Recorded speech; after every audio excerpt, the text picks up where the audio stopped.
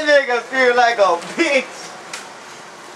That nigga feel like a bitch in that family. Yeah, that's how they scream around here.